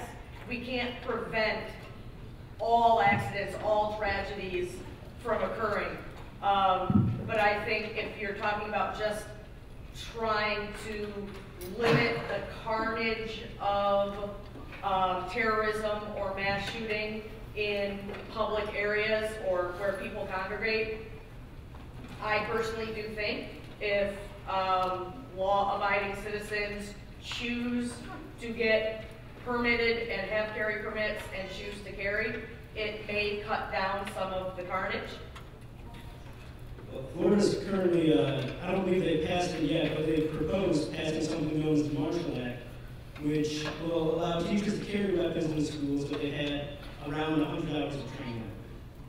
Personally, I don't know if that'll work. I have no idea if having guns in this situation will work. But if it does, if, you know, we- this act passes and we have armed teachers, and it somehow reduces gun violence, then I'm all for it because. Yeah, I think definitely something that needs- works. Is what We need time, yeah. We don't, I can't, I don't think we can definitively say, would it work, will it Yeah. not work? Something Yeah, it's- has to be looked at Yeah. before we actually enact it. Yeah. Okay, so I have one more question about fifteen minutes left. Hold on, we got a few people back here too. Um, so this is more of a rebuttal to what she has said over there.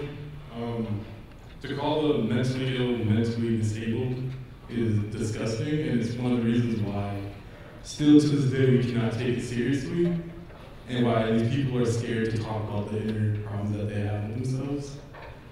And we use gun violence as an overshadowing problem just to completely ignore the people who are calling for help every single day. And uh, I personally feel that it's pushing an agenda that doesn't need to be pushed. I feel that gun laws are perfectly fine the way they are. If anything, we need to put more funding into helping people sick. Yeah, shutting down the mental institutions back in the nineteen seventies was a horrible move. If we would have kept those things open and actually properly funded them, maybe we wouldn't have these. It actually made the prison system the largest treater of mental health issues when we did that. Yeah, I think, I think most people would agree with you to some extent that I think we do need more look at, um, trying to help people with severe mental illness. Um, I I'm more of an observationalist, and so um, just looking at the panel, um, I would have loved to see uh, an African American on the panel, as well as more women. And I was kind of offended when the young gentleman on the end, he wasn't allowed to express his point. That was offending to me. Um, he was told to not offend somebody else sitting on the panel. But in regards to our right to bear arms, we have that right. And our discussion is about the Parkland. But I would challenge us to go just a little bit deeper and to think about um, the children that are sitting in those elementary buildings or challenge the man. Before a man becomes a man, he once was a child, he was a boy. He was, a woman was a child, she was a girl. And when we're in the state of elementary schools, we have a lot of kids that, and I've heard a lot of them saying they're bullied, um, they're afraid. I've heard conversations about a gang. And when you think about gangs, a gang is really a place where you can feel like you're somebody, you're accepted. And so a lot of our children that sit at school, they're not accepted. You know, and so they might rally off and go into a gang because they want to fit in. And just like that child that's being bullied, they're tired of being bullied too, and they're tired of not being able to fit in. And so when we think about gun violence, and just not gun violence, but violence at all, think about hurt, disappointment, sadness. And I would challenge everybody that's in here today that you know there's a big bullying issue in every one of our school districts. You can't name one that is not there. I would challenge everybody that's here today to go to those school buildings and find somebody that you know isn't fitting in and begin to build relationships with them. We can make a difference in the world if we start concentrating on things that are of relevance and of importance. We have the right to bear arms. We already got that. Let's have the right to go into a school building to challenge somebody that's sitting there, maybe with a mental illness problem, that needs somebody to say, hey, it's something about you that I love. I want to wrap my arms around you and say that you are somebody. It's okay. When I think about the guy in the Parkland, um, I heard a lot of stories about his life and how it was tragic. Just think if somebody would have said, hey, I see something about you that I like about you. Let's sit down and let's have a conversation. Things could have been avoided and went in a different area. So I challenge all of us today to not just think about the right to bear arms, but the right to love that child that's sitting in that elementary building.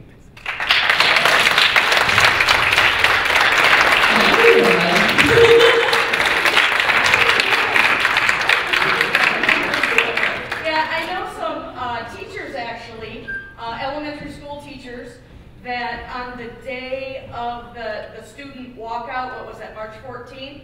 On the day of the student walkout, um, they instead, um, that's what they did within their classrooms, was basically, um, let's find a friend and let's search out uh, a student that you haven't talked to yet. And so yeah, so I know that was a movement that some teachers tried to tried to bring in. That as he, uh, what you talked about, that let's find those kids that may be bullied or maybe ignored or maybe on the fringe, and let's let's try to as individuals put more kindness their way. I um, just wanted to point out, I think your heart is in the very correct place. But I know a lot of students who were like bashing me for doing the walkout at my school. Their hearts were in the right place when they say, "Oh, let's just walk with the 17 people be nice." They were the, those are the same exact people, excuse my language, but they were the ones calling me faggot when I came out. They were the people that were calling me awful, awful things when I was growing up in elementary. We need to make sure that if we're going to be nice to people and we want to address the issue of gun violence with being nice to people, which I think is a very simplistic way of looking at it, we have to make sure that we include everyone in that everyone has to be accepting, everyone has to be. Well, something I'd like to add on that is, uh, you know, we look at this at the walkouts and the student activism as if it's completely separate from being nice to people when the students who are marching, walking out and participating in these events aren't the bullies. They're the ones who are more than likely the nicest students at school.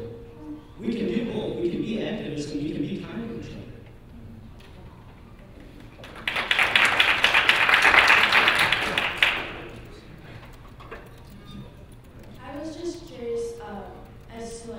You guys think, like as a community, besides like being nice to people, what we should do about people with mental um, illness or seeing signs of who should we go to and what needs to be done to deal with potential problems. At a school, Yeah. go to the administration, go to your teacher, go to the administration. Um, try to give specific examples about, you know, what's going on. Um, at the university level, like at Muskegon Community, same thing, go to administration. Um, if on a more kind of widespread, um, report to local police. If you think it is a potentially large problem, as in massive gun violence, terrorism, you know, they always, if you see something, say something. Um, call the police, call the FBI. Um, now, we've already mentioned that unfortunately, sometimes that's not followed enough. I mean, and to back up a lot of law enforcement, they, they're, you know, they have, they're limited, limited as well, uh, in what they can do. But I think the adage, if you see something, say something to administration and on a larger extent, if it's potentially quite dangerous, to local law authorities. And besides just being afraid of them and trying to get them reported and remanded somehow, you can let them know that there are routes they can go, people they can communicate with to talk about these issues. We have counseling here, there's local counselors all over who are willing to talk to people. Even almost every pastor or religious figure is a counselor of some kind. Get them in contact with someone who they feel comfortable talking to and letting know those issues on their mind that might push them to do something that could be harmful to the public as a larger group. Could require teachers to learn this, to learn how to spot the signs while they're learning to become teachers. I mean, because you're, you're, you're with that child for a significant portion of their life. So you're, you're with them in their formative years. Um, you have, whether or not you want that responsibility, because you're around them so much and you're in, and you're there during critical time, during critical time of their life, you have, you have to be able to be responsible for their development. Teachers are just as responsible for the fostering of their children as, as, as parents are. But it can be difficult as a teacher to keep track of 30 students, and that's where class size comes into an argument. Uh, so also looking out for each other as human beings, not just hoping that an authority figure will spot them, but like I said, reaching out to that person that you see having trouble, and helping them get in contact, or even being someone they can talk to about their issues. And it can be difficult to hear someone talk about why they're depressed and what's got, they've got going on, and try to offer them solutions, but oftentimes just having someone to talk to will be enough for them to move on and start thinking about solutions to their problems instead of just their problem. And I would add, as voters, we do need, to start supporting law enforcement in those avenues. So, kind of a long story, but right next to my home is a house that is um, owned by a company that people that are severely mentally ill, that have problems with the law, kind of in and out of jail, sort of like a halfway house. Um, and we had a lot of problems with in having them in our neighborhood, breaking into homes, causing problems, stripping off all their clothes in the sun. Um, but anyway, when dealing with that, the, it was shocking to me how local police officers could really not do much about it. Um, and so I think uh, kind of with the exploring that mental illness, as we've all mentioned, we also need to start exploring more ways that our law enforcement can step in and prohibit possible problems and not be hamstrung by oversensitive laws protecting um, people's rights. Um, I have three more people, but I want to make sure we guys are wrapping it up pretty soon. I got something to add real quick on the mental health thing. For anyone interested in, you know, helping people with mental health, there will be an event here in May on, uh, I don't remember the exact date, but it's mental health first aid. So something we can all, everyone in this room can go to this. I May 29th, it's on before. May 29th, you can see it at the MCC website. I believe it's free, right? It is free, and Northwest offers four sessions a day.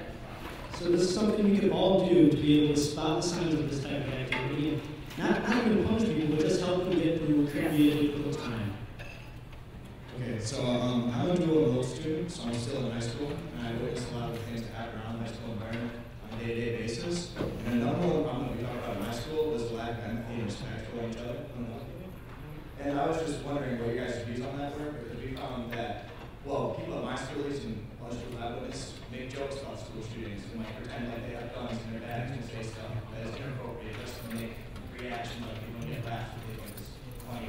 I think that a lot of issues are empathy problem, and I'm just wondering what your with that.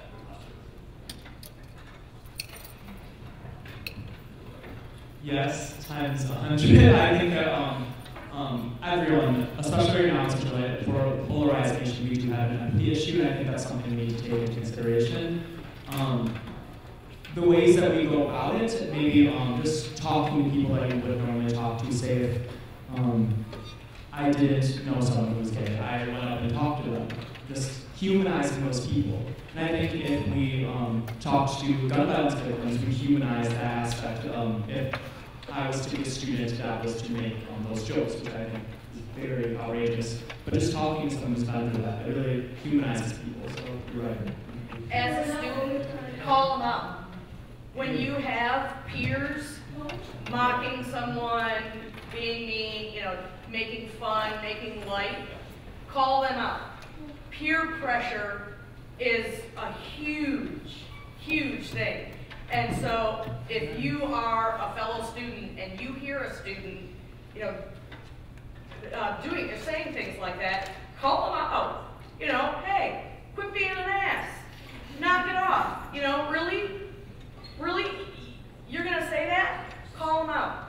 Make make them feel embarrassed. Uh, make fun of them for being an ass. Um, peer pressure is can be a very very wicked weapon, um, and it can be used and when used well. You know what I mean? It, Call out teachers and administrators too, because I've seen just as much bullying from um, teachers and administrators as students.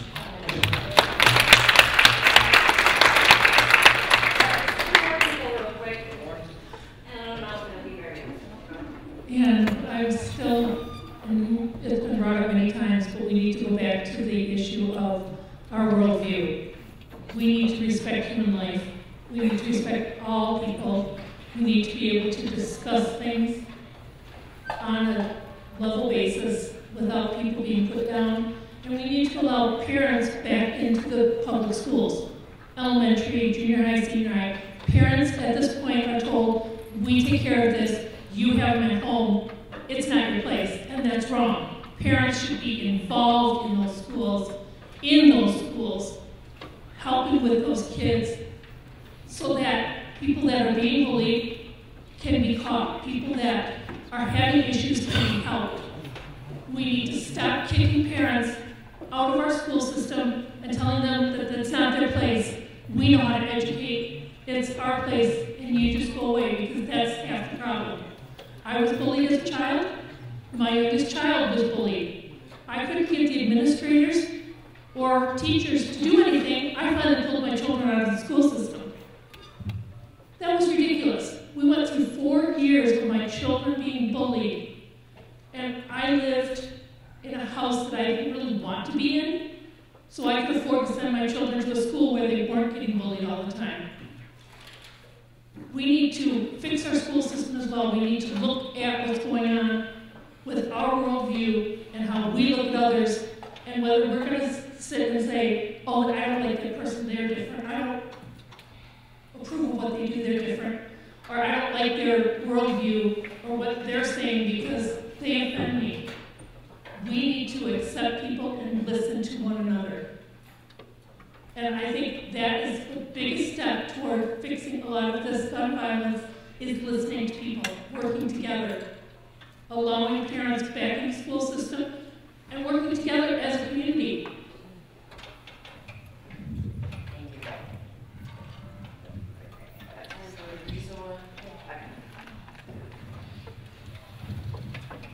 All right, um, back to the, um, situation, of- same thing with the school system, but also with the police situation. Um, a few years back, we had a situation with the neighborhood gang and, um, schools locked down in Muskegon. So we had police officers in the school. Uh, at first, I guess they were thinking it'll protect the students. Let's just say this, it costs more fair. I don't know what's going on in the police force or anything. I don't know. I'm not that knowledge on that force or anything. But as a student back then, I felt fair. I could feel it around everyone. Everyone talked about it. Um, but I noticed each district in different counties, police officers react differently. Some, um, for example, the first year at Grand Valley, I went there on campus. Oh my gosh, they were so friendly.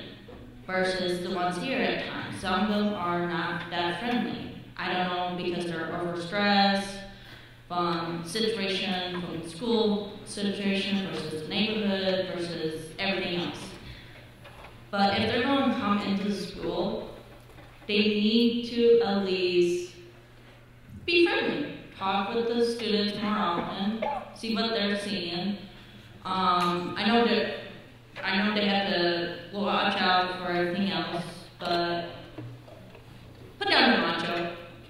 No one likes feeling that or seeing that among students because it causes more fear, anxiety. They want to back up, especially sometimes the people who think they're all macho among the students think they can back off with the police officers. I didn't like that. I'm sorry I can't relate with you. So I, I grew up since elementary school. Since third grade, right after 9/11, we always had resource officers in our school. I never felt any fear from them.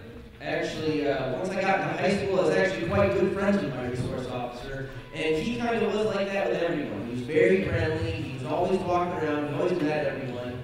And frankly, I think we should have more, not more police officers, but I think we should have a minimum of at least one police officer in every school because it does help kind of wrangle things in order.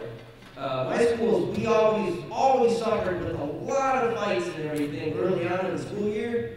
And the only thing that really cracked down on that is when they start threatening to arrest people and take them to jail over it. Which school did you go to? I grew up in Illinois. Illinois. Okay, I know it's totally different in each It state. is. It's, it's different Um, there. I don't know how it is runs there and versus here in Michigan or Muskegon. Um, I went to Muskegon High, so everything was so stressed out in a certain time, especially in junior year of 2012.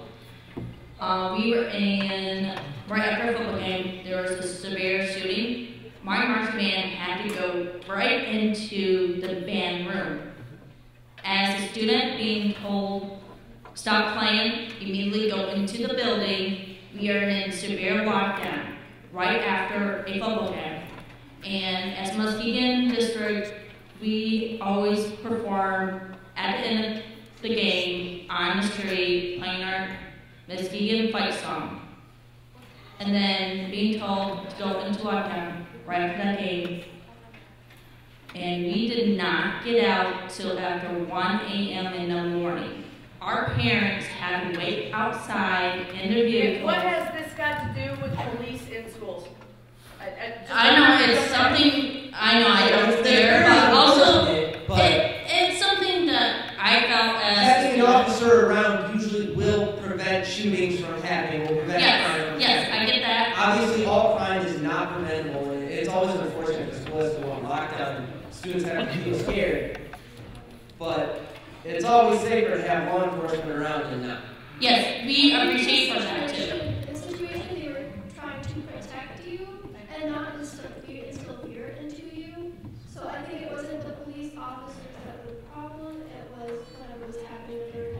Yes, as I now grown up, I realize that too. I'm just, at the time, we, maybe better education with the police force would help in the school system too. Are you saying you would appreciate more visibility from the police in the school, more of a relationship between law Yeah, more of having the police officers come into school and get more information. Yeah, I think that plays around with the last um, point that I made about community. Just make sure you talk to people. Yes. I gotta say something. All right. Okay, I'm a class of 13 at Deacon High School. And the police officers that I dealt, um, the police officers that I dealt with, they were friendly. Like, they were cool. They were cool. Yeah. My class of 13, we knew police officers. We joked with them, we played with them. The security people that we had there that was not in police officer form that protected the school. We knew all of them, and it's not only because I was on the first team. People that was not even on the first team, they be in this activity group, this activity group, they was okay with the police officer. So I don't think you saying fear, it put fear in because I felt protected when the police officer was there. I did not feel protected when the whole brawl came out at Deacon High School because they had to do the pepper spray. Mm-hmm. But at the end of the day, the police officer was there to protect us. I never feel, felt any type of fear in my whole 40 years at Deacon High School. I, I can understand that. It's my part where I wasn't educated on that part. We, I was a year after you, therefore I was less educated than you. And I know. I'm Listen, done. I'm so I sorry to know, tell you. I got you. I'm done. I'm done. No, no, no, no,